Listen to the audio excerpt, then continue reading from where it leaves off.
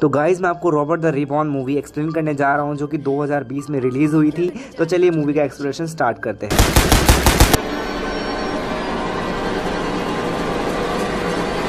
जैसे movie start होती है तो हम देखते हैं कि एक हस्बैंड वाइफ जो कि आपस में लड़ रहे थे, उनका बेटा पीछे बैठकर रो रहा था कि उनके मोम डैड क्यों लड़ रहे हैं।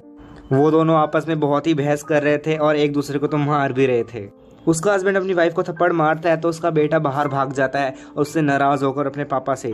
तो उसके पापा को सुनाने लगता है, बोलता है कि आप बहुत बुरे हो मेरी मम्मी को हमेशा आप ऐसे ही मारते हो। तो उसका पापा उसको गुस्से में आकर एक थप्पड़ लगा देता है, जिसकी वजह से वो नीचे गिर मर जाता है। उस लड़के का नाम रॉबर्ट था और यहीं पर यह सीन कट हो जाता है। अब हमें सीन सोवियत यूनियन की तरफ़ दिखाया जाता है 1951 में, जहाँ पर एक ओल्ड लेडी बहुत ही बीमार हुई हुई थी तो उसको इलाज करने के लिए एक डॉक्टर को बुलाया था, इनके सोवियत यूनियन के ऑफिसर ने। तो इनसे ऑफिसर एक सलाह माँगता है, पूछता है कि अब क्या करें? इनको जल्दी से जल्दी हमें ठीक करना होगा। तो जैसे ही डॉक्टर ने बोलता है कि इनको रेस्ट चाहिए, ये बात बोलकर डॉक्टर जाने लगता है अपने घर की और तभी ऑफिसर उसको शूट कर देता है। और उसकी वाइफ पूछती है तो वो बोलता है कि मुझे ऐसी घटिया सलाह नहीं चाहिए। वैसे उन्होंने उसको सलाह बिल्कुल सही दी थी, पर डायरेक्टरी की गई है ऐसी तो हम क्या बोल सकते हैं? चलिए अपनी मूवी को आगे कंटिन्यू करते हैं। नेक्स्ट सीन में हम एक लॉर्डन नामिक लड़के को देखते हैं, जो कि बार में आया हुआ था ड्रिंक करने के लिए। उसकी नज़र एक बूढ़े पे पड़ती है, जिसका नाम था मायर हार्ड तो ड्रिंक करने के बाद लॉर्डन वहाँ से चला जाता है उस बूढ़े के घर के पीछे। जैसे वो मेयर के घर में एंटर होता है वैसे ही पीछे से मेयर भी आ जाता है और उसके गर्दन पर रख लेता है चाकू। और उसको बोलता है कि अपनी गन निकालो। तो उसके साथ साथ वह गन उसको दे देता है और बोलता है कि अब तुम चेयर पर बैठो। तो उसको चेयर पर बिठाता है, उसके और हाथ पैर भी बाँध देता है, जिसकी वजह से वो लॉर्डन भाग ना सके वहाँ से। मेयर उससे पूछने लगता है कि तुम मुझे कैसे जानते हो? तो वो बोलता है कि मैं तुम्हें बहुत अच्छे से जानता हूँ। वो बोलता है कि वार के दौरान तुम जर्मनी में वांटेड बन गए थे। तुमने एक बुक चुरा ली थी जिसकी वजह से तुम निर्जीव चीज़ों को भी जीवित कर देते हो। तो इसलिए तुम्हें पकड़ना ज़रूरी था। क्योंकि उसके पास एक बुक हासिल हो गई थी जिसकी वजह से वह किसी भी चीज़ को जीवित कर सकता है। तो इसलिए वो बुक लेने के लिए उसके पास आया है। तो उसे मेयर बोलता है कि अच्छा चलो ठीक है। अब तुम्हें मेरे साथ एक गेम खेल लोगी कि वो तीन बारी तुम्हें शूट करेगा। अगर शूट हो गया तो समझो तुम मर गए। अगर नहीं हुआ तो तुम्हें मैं यहाँ से जाने दूँगा। उसके बाद वो गेम खेलने लगते हैं। जैसे ही टास्क पूरा होता है, तीनों बार उसको कुछ नहीं होता। तो इसलिए वो बोलता है कि, यस, अब तो मेरा वादा है कि तुम जा सकते हो, पर मेरे बच्चे तुम्हें नहीं जाने देंगे। मेरे बच्चे से यानी कि मतलब कि रॉबर्ट, मिस सेक्लॉप्स एंड निकलॉफ इन डोल्स को इसने जीवित कर दिया था, मंत्र पढ़कर उस बुक में से। तो इसलिए रॉबर्ट अब उस लड़के को भी मार देता है यहीं पर। अब हमें ऑफिसर और उसकी वाइफ दिखाई जाती है, जिसकी वाइफ का नाम था ओगला, जो कि ये पहले सीन में भी दिखाए गए ओल्गा को डॉल से बहुत प्यार था तो इसलिए वह कल चेंटेड शो देखने के लिए जा रही थी कालिन ग्रांड पर। अपने पति को बोलते हैं कि, क्या तुम भी चलोगे तो उसका पति साफ़ मना कर देता है बिकॉज़ उसको ये सब चीज़ों में इंटरेस्ट नहीं था। तो ओल्गा फ़्लाइट पकड़कर वहाँ पर चली जाती है चेंटेड शो देखने के लिए।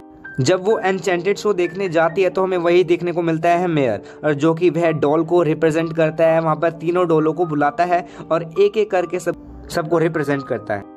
पहले वाली डोल को हम देखते हैं रॉबर्ट, जिसका नाम रॉबर्ट था और वह मूव कर रही थी। सब देखकर उसको चौक रहे थे कि कैसे मूव कर रही है। ना ही इसके हाथों में कोई रोड है और उसके हाथ में एक नाइफ पकड़ा हुआ था, जिसकी वजह से वह यहाँ वहाँ मूव कर रही थी। तो सब उसके लिए तालियाँ बजाते हैं।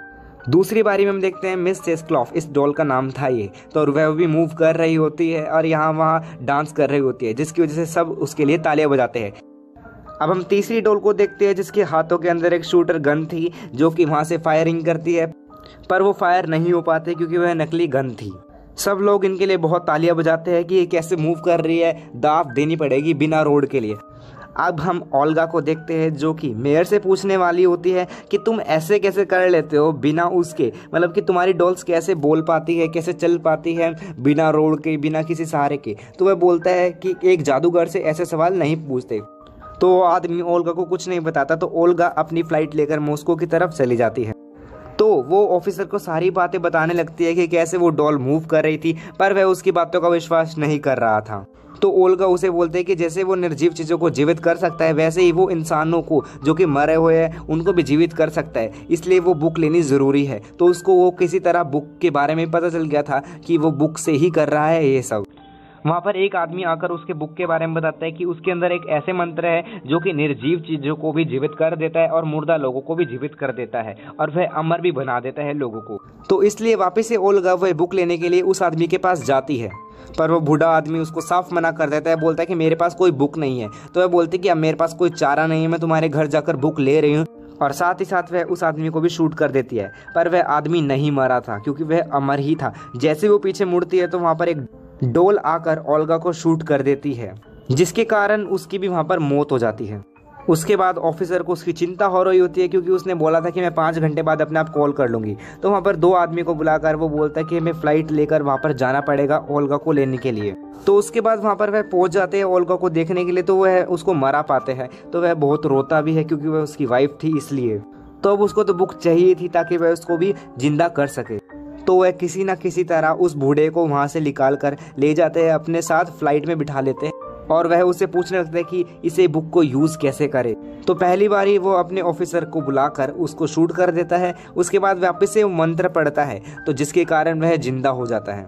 तभी हम फ़्लाइट में एक ऑफिसर को देखते हैं, जो कि किचन की ओर जा रहा था। जैसे ही वो देखता है तो वहाँ पर एक डोल आकर उसे भी मार देती है।